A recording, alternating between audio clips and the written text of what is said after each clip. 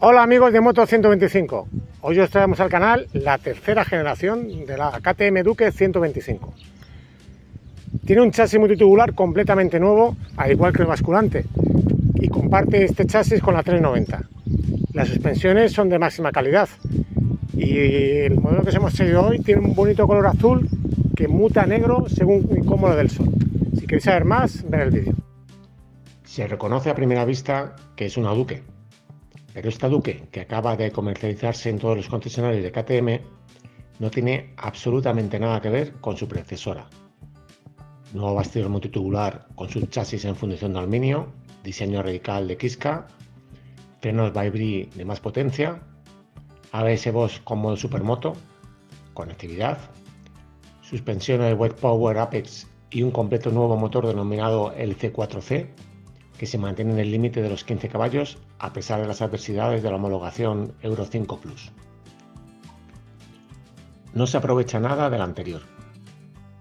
Empezando por el bastidor, se ha estrenado un conjunto multitubular de acero que combina con su chasis trasero en fundición de aluminio, como también el basculante asimétrico, con una ligera curvatura bananoide por el lado derecho para salvar la salida del tubo de escape. Su toque más característico es el amortiguador descentrado hacia el lado derecho, dejándolo completamente a la vista. Esto, además de resultar muy atractivo estéticamente, también tiene su justificación técnica, ya que se consigue una caja de filtro de aire más voluminosa que permite respirar al motor a pleno pulmón, además de reducir la altura del asiento desde los 830 mm de la Duque 2017 a los 800 de la 2024. Todo este conjunto de bastidor lo vuelve a vestir el equipo de diseño Kiska, también austriaco, con sus características formas de listas marcadas que se hacen más radicales, con esos saltines extra largos que salen del depósito canalizando el aire de marcha hacia el radiador. El asiento del piloto es el más bajo de las tres generaciones de Duque, con una altura de 800 milímetros, muy accesible gracias a la estrechez de la moto. Opcionalmente se ofrece un asiento 2 centímetros más alto. El asiento del pasajero tampoco está demasiado sobrelevado para acomodarse sin dificultad. Su superficie mullido es correcta, disponiendo a ambos lados del subchasis de fundición de unas hendiduras para emplear como asideras. Retirándolo, encontramos un pequeño compartimento para guardar herramientas, documentación y un pequeño antirrobo de disco. Se abre a través de una cerradura en el lateral izquierdo.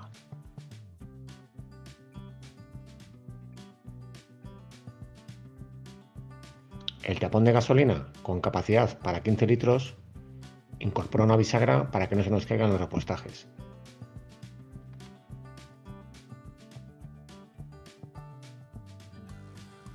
El único apoyo de la Duque es el caballete lateral.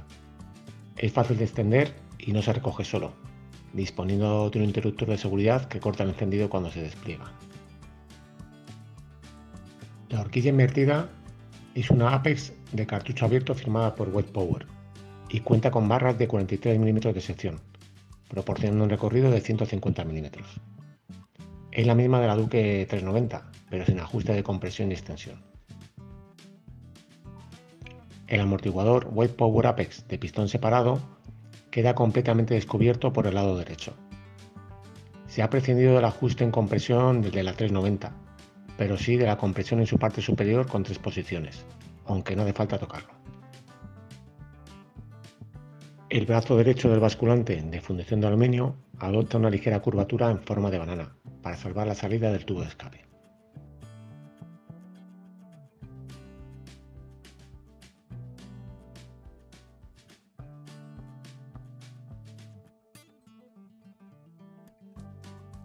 El disco delantero viene ahora montado por el lado derecho de la rueda para facilitar montar un antirrobo con la dirección bloqueada. Su diámetro es de récord para un 125 nada menos que 320 milímetros. La pinza es de anclaje radial con cuatro pistones, firmada por Vibrio. El disco trasero mide 240 milímetros de diámetro y lo muerde una pinza flotante para la que se declara que tiene dos pistones enfrentados.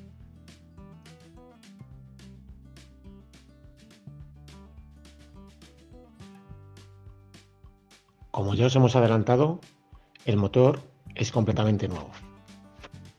La C minúscula del LC4C indica que es un motor de dimensiones muy compactas. Junto a la denominación se puede ver la mirilla del nivel de aceite que da cabida a menos cantidad, concretamente 1,2 litros. Sigue siendo de refrigeración líquida con inyección electrónica Bosch y cambio de 6 velocidades, pero se ha prescindido del doble árbol de levas en culata por uno simple, que se ocupa de accionar las cuatro válvulas que siguen manteniendo las mismas dimensiones. Las medidas internas son casi iguales, mismo diámetro de 58 milímetros, pero con una carrera que aumenta en una décima de milímetro, concretamente 47,3, para así apurar los 125 centímetros cúbicos. Su relación de compresión baja de 12,8 a 12,31. El radiador tiene forma curva para conseguir una mayor superficie de enfriamiento. Es muy eficaz. En nuestra prueba no conseguimos que saltara el electroventilador. En uno de los huecos del bastidor multitubular se acoge el vaso de expansión con tapón a rosca y una medilla para controlar el nivel de refrigerante. El tubo de escape discurre por debajo del motor con forma de boa constrictor, digeriendo una presa que es en realidad el bulto del catalizador. En su extremo final se integra el silenciador, aunque queda oculto en los bajos delanteros del basculante, siendo la petaca de mayor tamaño. Las estriberas son de aluminio forjado con un recubrimiento de goma. La palanca de cambio se reenvía para posicionarla más retrasada. Y el mecanismo de Quick Shifter Plus se encuentra dentro del motor.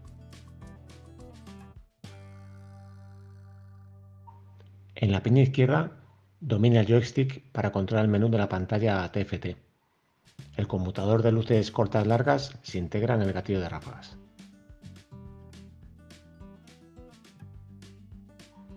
Los mandos de la piña derecha se reducen al cortacorrientes en rojo y al botón de arranque.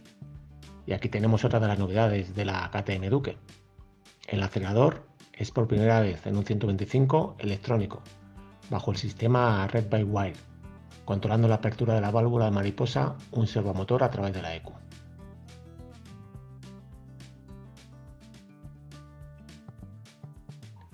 Los espejos retrovisores tienen forma poligonal, con una funda plástica que envuelve completamente el mástil.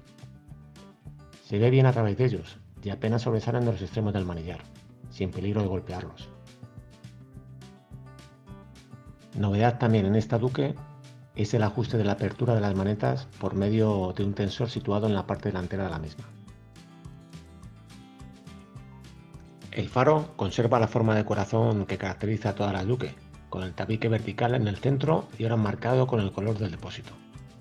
Los dos focos superiores se iluminan con las cortas y los dos inferiores con las largas, iluminándose junto con las cortas.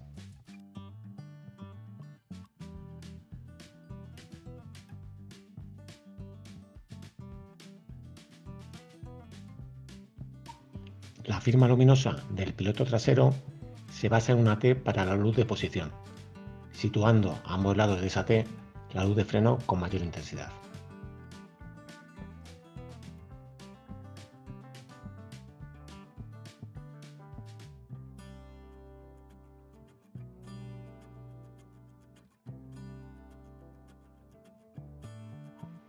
Por el lateral izquierdo del cuadro de instrumentos encontramos el conector USB-C protegido por una tapa de goma. Así podrás conectar un móvil sujeto al manillar y complementar la información del cuadro TFT. La pantalla de saludo al activar el cuadro nos recuerda el 30 aniversario de la familia de naques deportivas de KTM, las Duque. El cuadro de instrumentos por pantalla TFT de 5 pulgadas ahora incluye conectividad con el móvil a través de la app KTM Connect y dos visualizaciones, Street y Race esta última con cronómetro por vueltas en circuito. A través del botón inferior del joystick se pulsan los pasos por línea de meta y se registran los tiempos por vuelta, mostrándolos en una de las pantallas.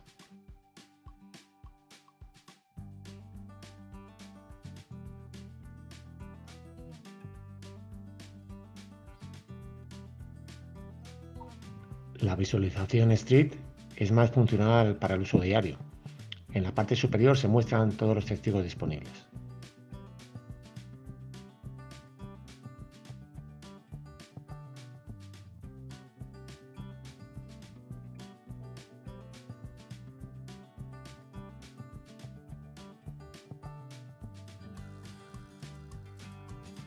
Una de las pantallas del menú permite elegir el modo supermoto en el ABS. Activándolo se anula el funcionamiento del canal trasero del ABS permitiendo hacer derrapadas.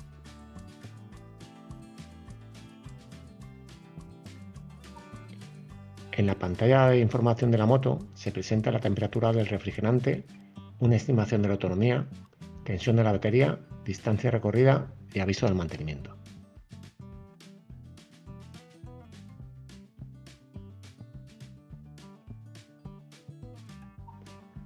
Hay posibilidad de controlar hasta dos cuenta kilómetros parciales, mostrando en pantalla las estadísticas correspondientes.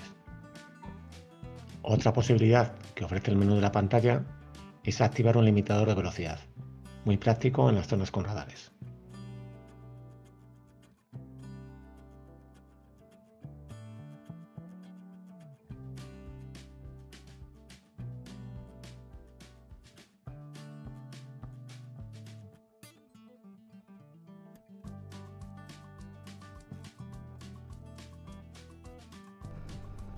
Ergonómicamente, es verdad que 800 milímetros de altura los consideramos altos para un scooter, pero en el caso de la Duque, con un arco de montura estrecho, resultan asequibles.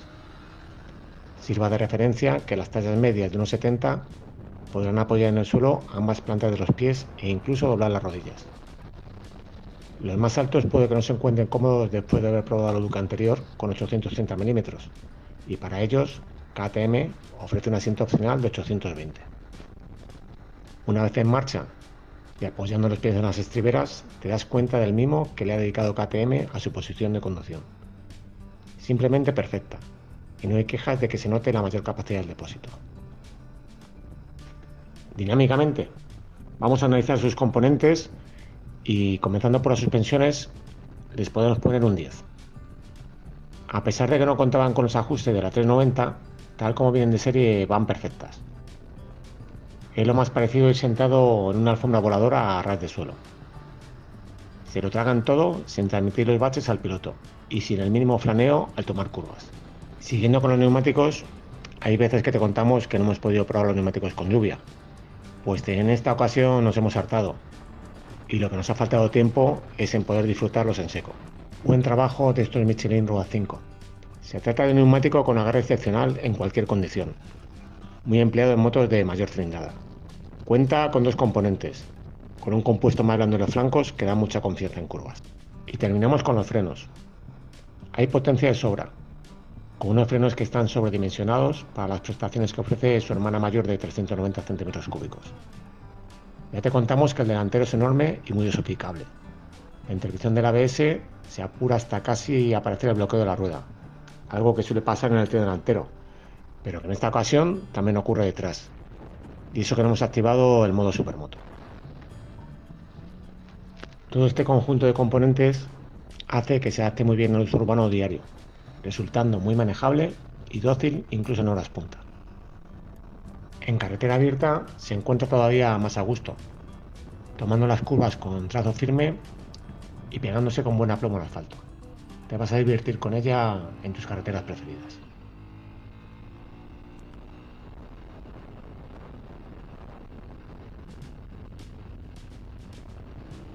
En el apartado de motor y prestaciones, y a pesar del Euro 5 Plus, KTM declara los mismos 15 caballos de potencia máxima a 10.000 revoluciones por minuto, aunque el par ha bajado un poco, de 12,7 Nm a 11,5 a 7.750 revoluciones por minuto.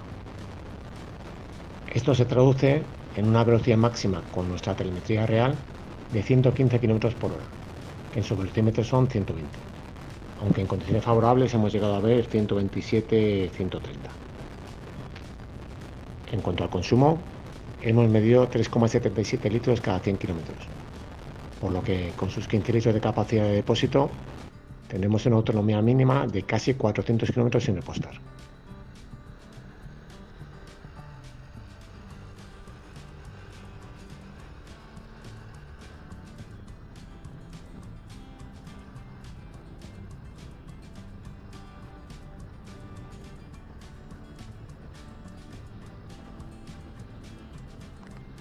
Terminamos con el precio.